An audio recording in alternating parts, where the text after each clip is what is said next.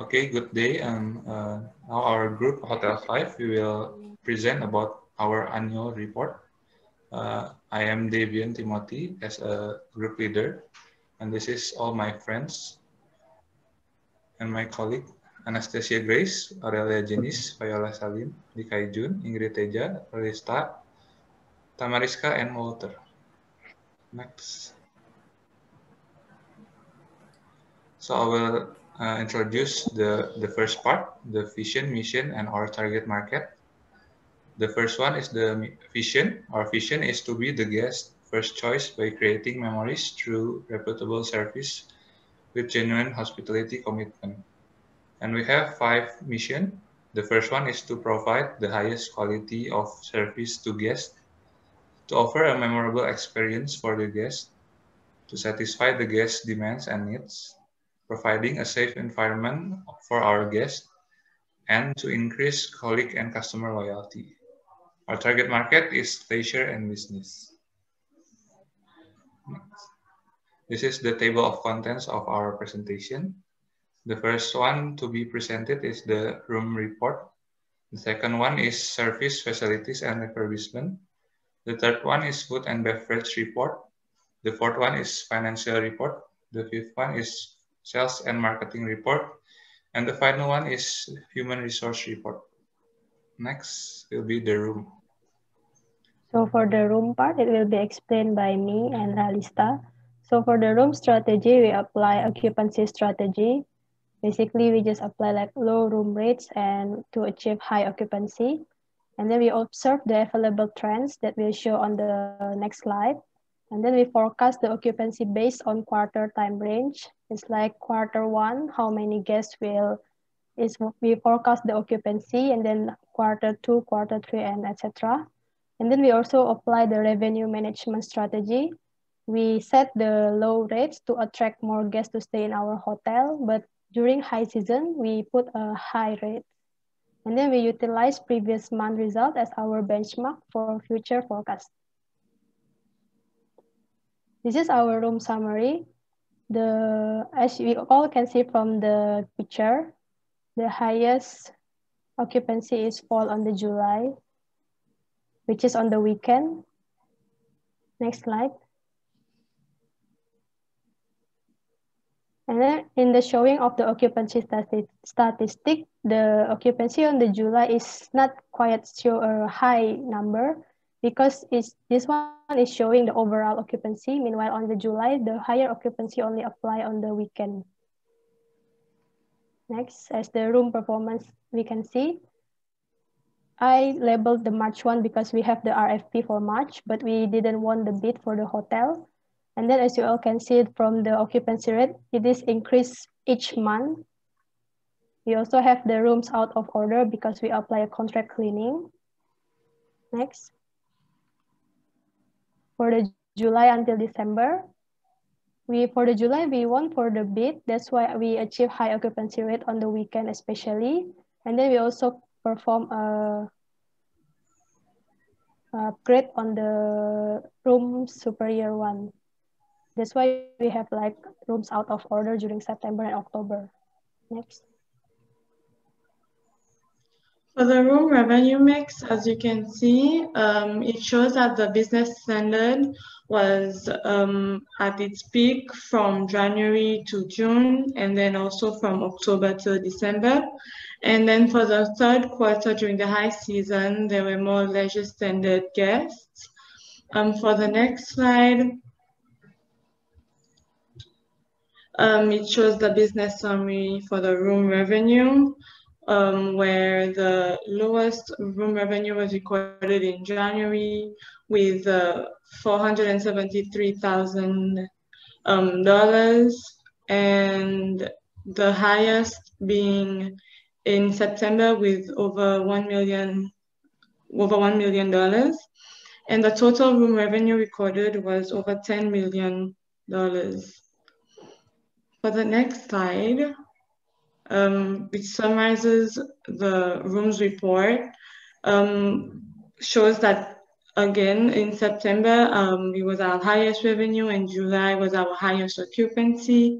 In January had the lowest occupancy as well as the room revenue due to the um, the occupancy rate optimization that we were doing. That concludes the room report, and now my colleague will explain the facilities and services. For the services, we managed to purchase all of the services, but for the first performance, we purchased the one that generate revenue to enhance our revenue. Next. And this is the uh, facilities for, for our hotel. Uh, throughout the year, uh, we are able to uh, gain the retail shop, travel and tour desk, and valet, valet parking and lobby kiosks. These are the one that we can get. And this is the electric elected refurbishment for our hotel. Uh, we're choosing the contract cleaning, the soft goods redo, and uh, renovation for our hotel to increase our percentage or our refurbishment on our facilities. Next. Next. And this is the refurbishment level of facilities, room, and public space throughout the year. Um, the highest one is on December. The facilities we gain 35.83%. For the room refurbishment, we got 60.33%. Uh, For the public space refurbishment, we got 70.08%.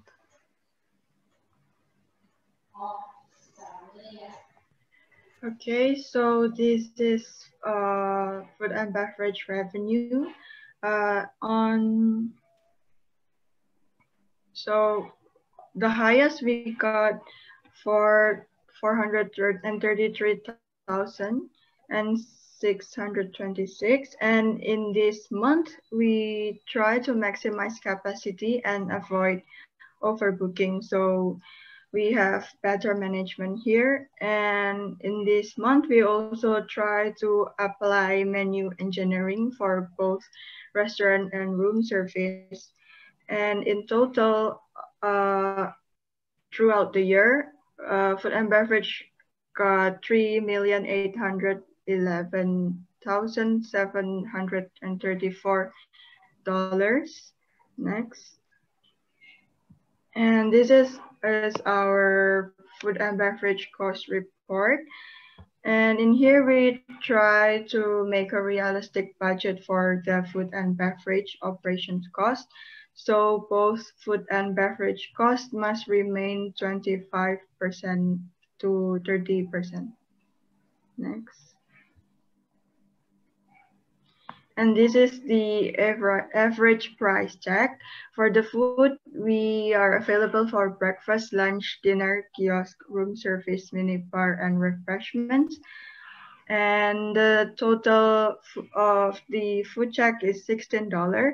And for beverage, we are available for restaurant bar, lobby bar, room service, and mini bar. And the total for the beverage check average is $8. Next. So for food and beverage department, we have strategies and the strategies are to maintain our hotel restaurants position in the market in the hotel industries.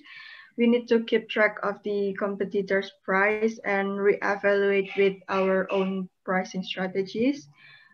And we also discussed with the sales and marketing department regarding the restaurant's branding, performance, and advertisements in order to attract more customers, not only our hotel's guests, residents, but as well as the guests outside of the hotel.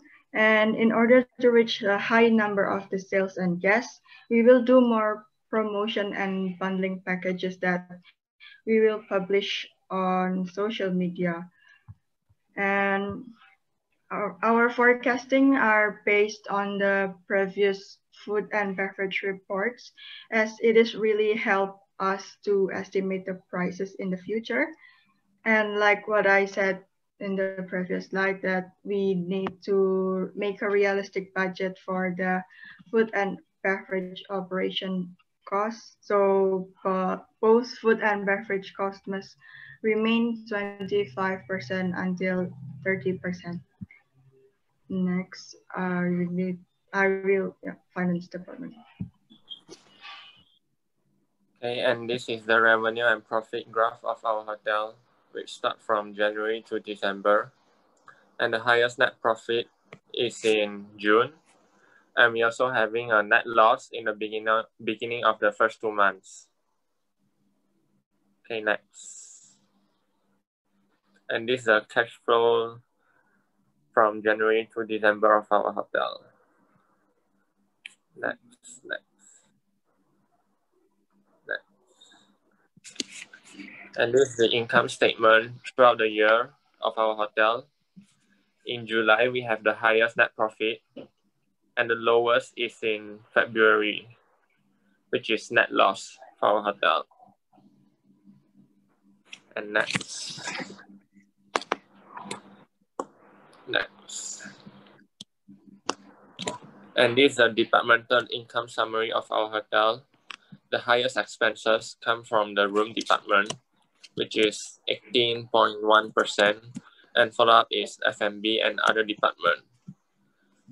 And for the income, 70.97% of incomes come from the room department, and follow-up will be F&B department and other department. And next, I will pass it to sales and marketing. Moving on to the sales and marketing department, me, Anastasia, and Inggrid will explain the result of our department throughout the year. As seen on the graph, the top three channels that generate more revenue for the hotel are direct, OTA, and travel agent. Our hotel mainly focus on targeting the sales and marketing for these three channels. During the decision making, the sales and marketing team allocate more budget on marketing for these three channels. Next slide. The market momentum graphs are divided quarterly. This is the graph for the first quarter. And as we can see on the graph, during, during February, the market momentum for all categories is on rank third out of seven. Then in March, the highest market momentum is leisure weekday, business weekday and weekend, package weekday and weekend. Next slide. In the second quarter, package weekday and weekend is on the first rank for two months straight, although it dropped into the third rank for package weekday and second rank for package weekend in June. Next slide. In the third quarter, Leisure weekend has the best market momentum in July and August compared to others. And in September, large group weekend has the best market momentum. Next slide. In the fourth quarter, large group weekend is ranked first out of seven in October, then business weekend is ranked second in both November and December. Next slide. On average, leisure weekday and weekend, business weekday and weekend and package weekend are ranked third out of seven from, Feb from February until December. This result is in line with our target market, which is leisure and business. Next slide. So moving on to the sales and marketing annual summary, our room market shares is always around 14% through the year and our market share ranking maintained in the third rank, although we ever in fifth rank on June until August. Our hotel spent around 8.67 until 11.23% from the total revenue on sales and marketing. Next slide. So this is the revised strategy for sales and marketing. Through the discussion, we decided to maintain marketing and advertising costs at an appropriate budget which is 8 until 10% of the total revenue. Next. We also using OTA and travel agent as a channels to advertise room. We also maintain high marketing momentum. Boost occupancy rate by advertising through direct OTA and travel agent channels because based on our revenue mix data, most of our hotel revenue comes from direct OTA and travel agent. So we put higher advertising fee for those channels. And we also advertise on F&B for enhanced golf. Next. All right, so this is our feedback from social media. As you can see that during the start of the year, our advertising received some negative comments on social media as some customers are unable to find information about our hotel. But after we revise our marketing strategy, it gets better by the next continuous month and we constantly receive positive feedback. All right, so this is our summary for sales and marketing. The highest market shares of our hotel is in December, which is 14.93%, when the lowest is in April is 14.46%, and the total spending is $1,518,650. And the average spending from total revenue is 9.99%. Next, I will pass to Human Resource Department. Thank you. So I'm going to talk about um, the Human Resource Department. So this is the plan strategy of the Human Resource Department. So um, we provide every department with enough staff for day-to-day -day operation and management. And we train staff to improve their skills and achieve maximum competencies. And we also provide staffing pay and ex exceptional services to guests and maintain a low turnover rate. Next. This is the staffing summary chart for the human resource department. So the competence level is between 98% and 100%. The staffing level is between 92% and 105%. And the pay level 101%.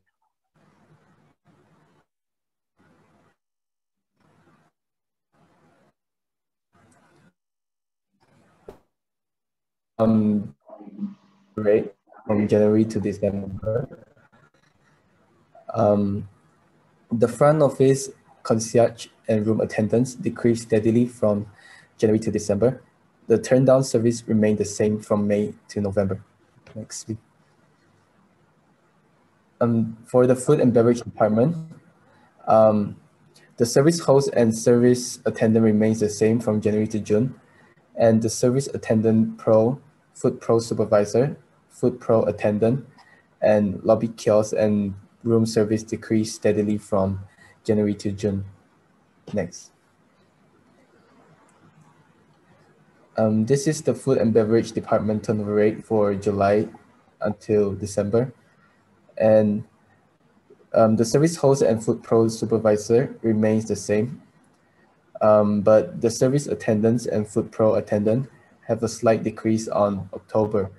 Bartenders have a significant increase on November, and lobby kiosks and minibar decreased steadily from July until December. Thanks. So these are the other departments for the turnover rate from January to, to December. So um, the business center has no turnover rate because we are a hotel. We don't um, provide um, business center in our hotel. And the guest laundry has a slight decrease on March and remains the same for the following months, and the telephone remains the same for all the months. Thank you. Okay, so for the revised strategy in the human resource department, we have a three strategy. First is we want to maintain the hotel performance. And then the second, we also want to maintain the high competency services and also associate facilities. And the third is because our staffing level is very low. So that's why we want to increase the resources in the future. So this is the human resource annual report from January until June, which is the highest staffing level is on January, which reached 104.46%. For the highest competence level is on February, which is reached 99.85%. For the highest pay level is on June, which is reached 102.61%. For the highest gas services is on February, which is reached 99.5%.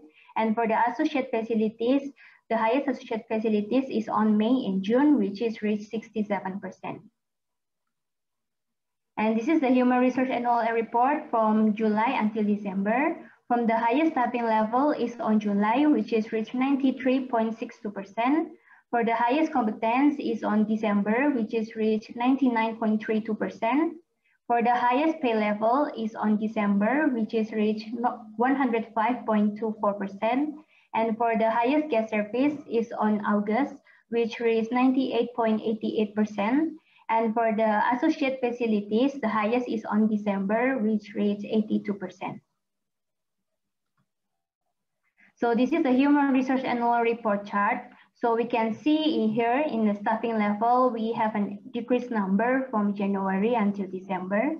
Uh, but in the pay level, we have an increased number from 102% until 105%.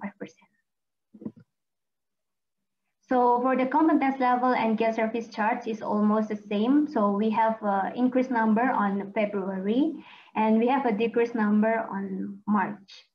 And for the associate facilities, we have an increased number from January until December. So this is the average from Human Resource Department in annual report from January until December. For the staffing level, we got 95.57%. And for the competence level, we got 99.26%. For the pay level, we got 103.03%. For the associate facilities, we got 71.3%, and for the guest services, we got 98.98%. So, so to summarize all, uh, we have uh, three key summary.